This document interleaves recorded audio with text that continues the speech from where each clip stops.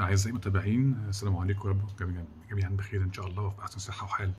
آه النهارده كده سريعا هتكلم على حاجة شفتها كتير مؤخرا في العيادة وناس كتير سألتني عليها الفحص اللي هو بيسموه الفود برنت أو آه فحص حساسية الأكل اللي هو بعض الناس مش عندهم مشاكل في البطن انتفاخات أو آلام أو تقلصات.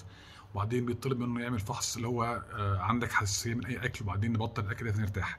الحقيقة الفحص ده مش آه، آه، ده فحص تجاري لحد كبير جدا. مفيش عليه أي آه، آه، بيز أو أي أساس علمي يعني محترم آه، عشان آه، آه، آه، ناخد بيه سواء إحنا أو زملائنا أطباء المناعة. آه، فأنا لا أنصح اطلاقا بعمل ال- ال- الفحص ده.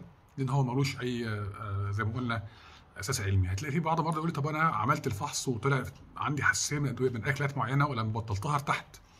آه، أقول لحضرتك لا أنت مش مش موضوع حساسية. أنت في الأغلب عندك قولون عصبي وفي عندنا حاجة اسمها ال FODMAP diet اللي هي الأكلات ال- اللي ممكن تزود أعراض ال- القولون العصبي ودي حقيقة كتيرة قوي قوي قوي آه، لستة طويلة يعني.